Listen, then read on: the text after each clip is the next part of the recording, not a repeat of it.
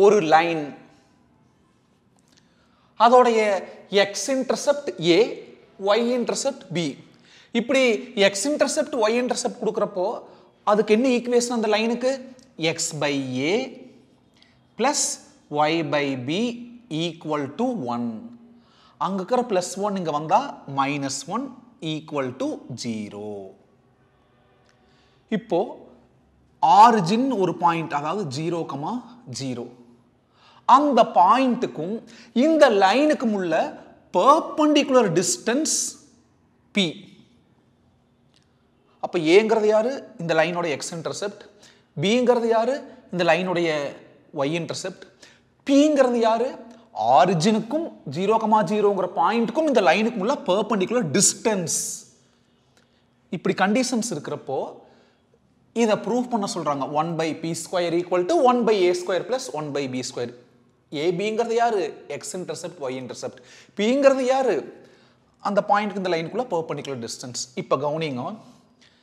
ரெண்டு பாயிண்ட் இருந்தால் டிஸ்டன்ஸ்க்கு என்ன ஃபார்முலா ஒரு பாயிண்ட்டும் ஒரு லைனோட ஈக்குவேஷனும் இருந்தால் என்ன ஃபார்முலான்னு நமக்கு தெரியும். இப்போது ஒரு பாயிண்ட் இருக்குது ஒரு லைனோட ஈக்குவேஷன் இருக்குது.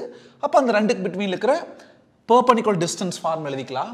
இந்த டிஸ்டன்ஸ் எவ்வளோ P P is equal to modulus of numerator எப்படி ஃபில் பண்ணணும்? சொல்லுங்க பார்க்கலாம். இந்த எக்ஸுக்கு பதிலாக அந்த எக்ஸ் கோஆர்டினேட் எக்ஸ் கோஆர்டினேட் எவ்வளோ zero zero by A zero plus ஒய்க்கு பதிலாக அந்த ஒய் கோஆர்டினேட் ஒய் கோஆர்டினேட் எவ்வளோ zero zero by B zero minus one அப்புறம் இது நியூமரேட்டில் ஃபில் பண்ணியாச்சு. டினாமினேட்டர் எப்படி ஃபில் பண்ணணும்னு பாருங்க. ரூட் ஓவர் எக்ஸோட கோஎஃபிசியன்ட் ஒன் பை ஏ ஏவா ஒன் பை ஏவா ஏ கீழே தான் இருக்குது. அப்படின்னா எக்ஸோட கோஎஃபிசியன்ட் ஒன் பை ஏ எக்ஸோட கோஎஃபிசியன்ட்டுக்கு ஒரு ஸ்கொயர் ப்ளஸ் ஒய்யோட கோஎஃபிசியன்ட் ஒன் பை பி அதுக்கு ஒரு ஹோல் ஸ்கொயர் இதுதான் ஃபார்முலா இந்த ஃபார்முலா அப்ளை பண்ணணும்னா ஈக்குவல் டு ஜீரோ ஃபார்மெட்டுக்கு அரேஞ்ச் பண்ணணும். அதனால தான் அந்த பக்கம் இருக்கிற ப்ளஸ் ஒன் இந்த பக்கம் மைனஸ் ஒன்று கொண்டு வந்து அரேஞ்ச் பண்ணிட்டோம். அப்புறம் நியூமரேட்டர் எப்படி ஃபில் பண்ணுவேன் எக்ஸ்க்கு பதிலாக எக்ஸ் கோனேட் ஒய்க்கு பதிலாக ஒய் கோனேட் இந்த கான்ஸ்டன்ட்டோட சேர்த்து எல்லாம் எழுதணும். டினாமினேட்டர் கான்ஸ்டன்ட் மதிக்கக்கூடாது டினாமினேட்டருக்குள்ளே ரூட் ஓவர் எக்ஸோட கொயசன்ட்டுக்கு ஒரு ஸ்கொயர் ப்ளஸ் ஒய்யோட கொயசன்ட்டுக்கு ஒரு square p is equal to zero plus zero zero zero minus one minus one modulus of minus ஒன்னா ஒன் தான். மால்லஸ் ரிமூவ் பண்ணிட்டோம். மல்டிப்ளிகேஷன் டிவிஷனுக்கு மால்லஸ் இண்டிவிஜுவலாக பிரிக்கலாம். Numerator பிரிக்கிறப்போ modulus of minus one one divided by root over one square ஒன்னா one ஏவை square பண்ணால் ஏ square plus ஒன்னை ஸ்கொயர் ஒன்னா ஒன் பிஏ ஸ்கொயர் ஒன்னா பி ஸ்கொயர் பாருங்க.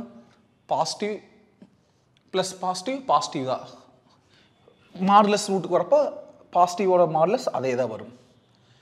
இப்போ என்ன பண்ணிக்கிறோம்னா take reciprocal on both sides கீழே எதுவுமே இல்லைன்னா ஒன்று தான் அர்த்தம்.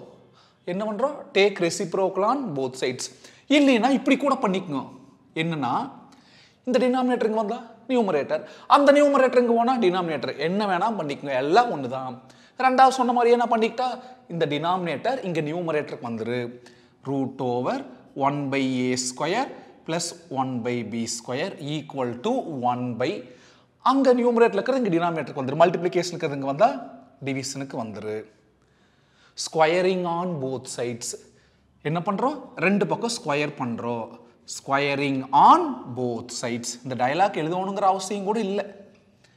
எல்ஹெச்எஸ் ஹோல் ஸ்கொயர் ஆர்ஹெச்எஸ்க்கு ஒரு ஹோல் ஸ்கொயர் எல்ஹெச்எஸ் ஸ்கொயர் பண்ணுறப்போ ஸ்கொயர் ஸ்கொயர் ரூட் கேன்சல் மிச்சம் one by a square plus one by b square equal to இந்த ஆர்ஹெச்எஸ் ஹோல் ஸ்கொயர் வரும். ஒன்னு ஸ்கொயர் ஒன்னா ஒன் பிஏ ஸ்கொயர் பண்ணா பி ஸ்கொயர் பாருங்க ப்ரூஃப் வந்துருச்சு. One by b square equal to one by a square plus one by b square show that sum hence showed